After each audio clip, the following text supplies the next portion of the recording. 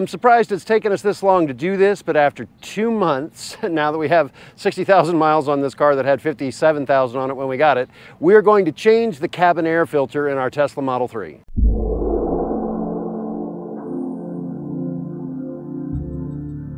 You joined me from the cabin of our Tesla Model 3, and we've had this vehicle for a couple of months. We've put close to 3,000 miles on it now, and it's time for some of the regular maintenance uh, because we're going to change the cabin air filter today because it, sometimes when the AC blows uh, full on, it kind of smells a little like feet, and I want to make sure that that's not me. Uh, now, this is not going to reinvent the wheel. There is another YouTube channel uh, called Tesla Owners Online, and I'll link to his specific video. It, it's, it's been up for a few years, and I watched that video, and it got me the idea to purchase this uh, cabin air filter from Amazon. It's made by a company called uh, Xtechnor. Um, I don't have affiliate links or anything like that, but you can just search this on Amazon and it's there. And the reason I got this from watching his video is that it comes with a couple of the installation tools, basically all of the installation tools you'll need to do the install.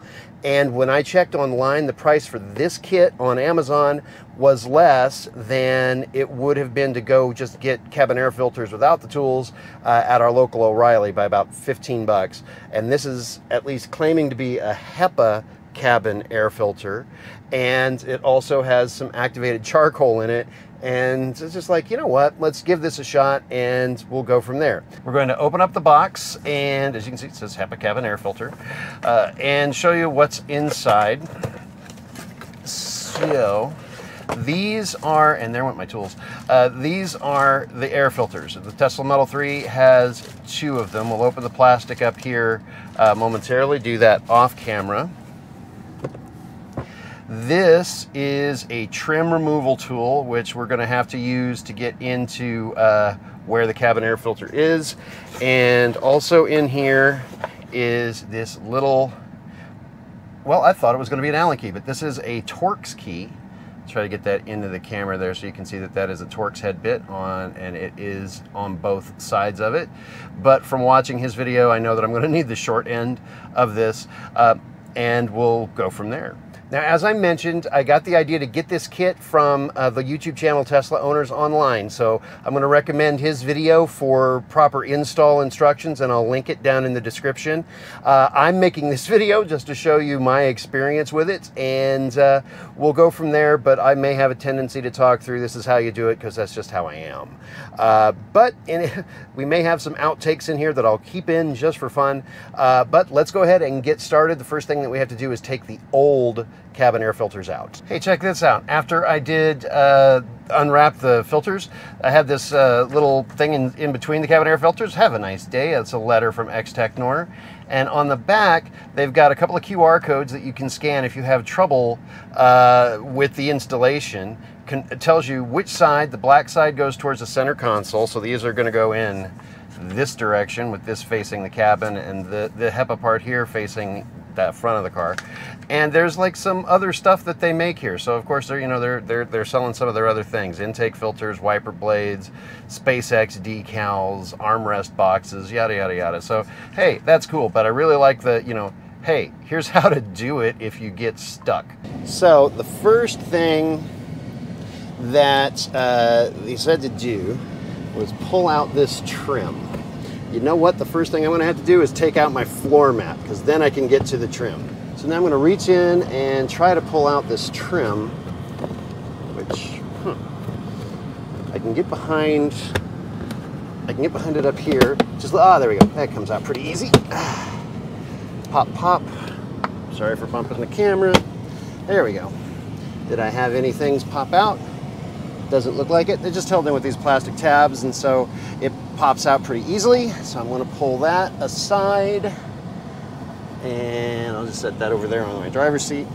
All right, so one of the things I noticed in the Tesla Owner Online video was uh, he had a couple of cables to pull out of the way and an orange cable to pull out of the way, but I don't have those. Uh, I'm thinking because that video is three years old and this car is only two years old, it's a new, it's a newer vehicle uh, that might have been a, a change uh, for the 2022 model year, or maybe the 2021 model year. Uh, so I don't know, but all I know is I don't have those cables he said to pull out. Another thing that he mentions is the Allen uh, key, or this, in this case, it's a Torx nut. He uh, asked the Tesla engineers to put it on the bottom, and look, lo and behold, there it is on the bottom. So I'm going to assume that this, that one right there, finally got my finger on it, that's the one that I need to undo to get to the uh, cabin air filter. So I'm going to do that now. This should be the bolt that I need to take out, which is an awful lot easier to get to, and I don't see any cables that I need to undo.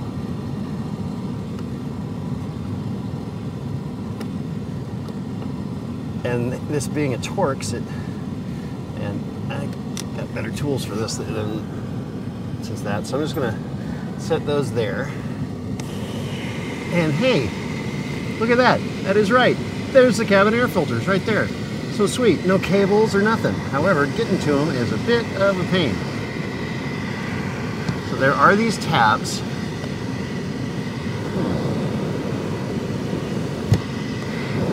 There we go.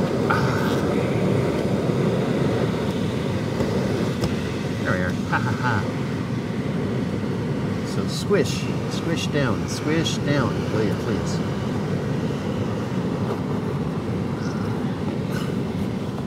takes a little bit of extra. There's got I'm probably doing something wrong here, so there we go. One out.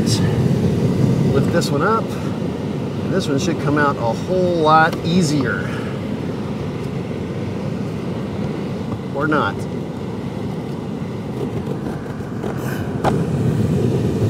There we have them.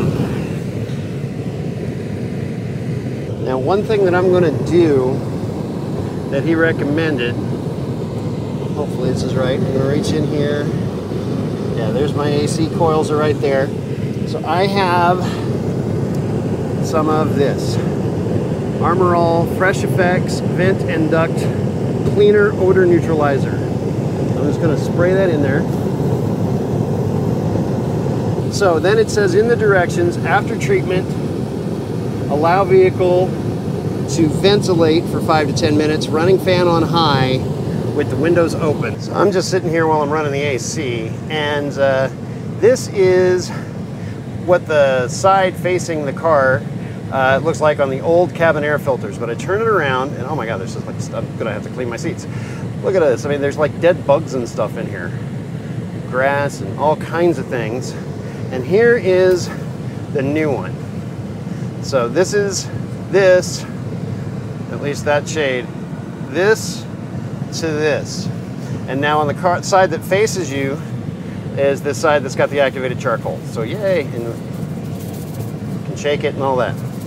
I'm gonna need to clean my seats after this. Okay, so here's something that I was uh, worried about. Uh, because getting the old ones out through that hole, I kind of had to Hulk smash them to get them out. And these new ones are not squishy and it won't fit. So I'm gonna try something I have got two more of these Torx screws. I'm going to take them off and see if this whole thing comes out.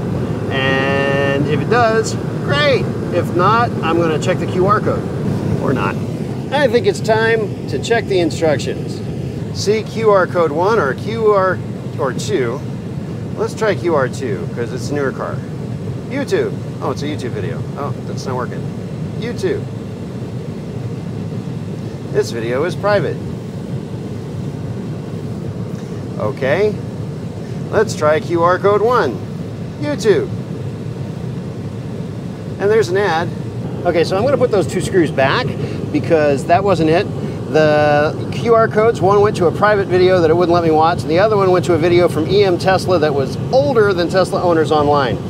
So I'm gonna have to figure this out on my own. What you are now seeing is the underside of the dash behind the glove compartment. And that's what I must need the trim removal tool for, are those things there, and especially this one over here, because that's what's getting in my way from being able to, um, to get the new air filters in. So my head might be in the shot, and this may not be very good. I'm just gonna get the trim removal tool in there, see if it'll let me pop that out. There's one, two, and three. Oh, there's another one up here in this corner right here. So that'll be four. All right, that should come out now. Oh, there went one. And there we go. There's that. Ah, here's the cables I'm supposed to disconnect. So the video was right. There are cables I need to disconnect, and they're on this side. But I'm betting I can just scoot that off to the side and not worry about it. There's nothing here now in the way, so I am going to see, and that gives me a little bit more room. So uh, we're going to try to put these in now. The black side, not this side, but this side, is supposed to face where the people are. The tab is on the top and facing outward. And look at that, it fits now. And that was so much easier. I didn't have to Hulk smash, but you know, I was only Hulk smashing the old one. So there's that. That one's in. And then next, you do the same thing again with filter number two, because there are two of them. And it just slides in. And that's it. The cabin air filters are replaced. Now I just got to put everything back together. Huh. All right, you know what? Fine, be that way. I'm going to line up these tongues. There we go, there's one. Hey, there we go. And push one in, and hey, now it's easy. Two. Ah, ah, ah. In. One more to go.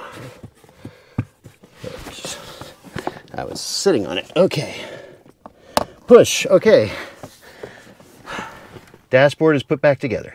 So now I'm going to put the screws back and I'm going to start with the two I took out that I shouldn't have taken out. And with them being on the bottom, as was recommended in that prior video, then they are a lot easier to do. And don't be like me, and you won't have to do two of these. You'll only have to do one. You won't have to do three of them. You'll only have to do one.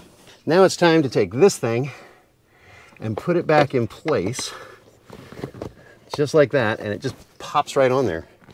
Super easy to do. That's the cover.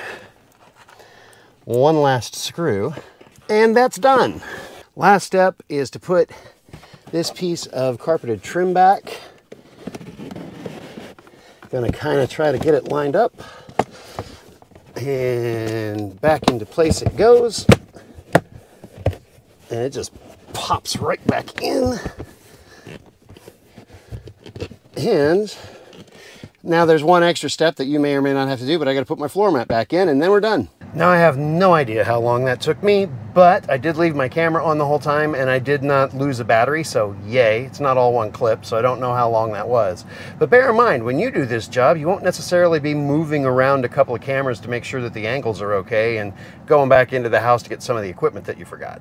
I'm really looking forward to having the smell go away when the air conditioner's on high, uh, but if you found this video um, in, in, informative, entertaining, you enjoyed laughing at how out of shape I am, give us a like and please subscribe for more content. We'll have more videos coming up.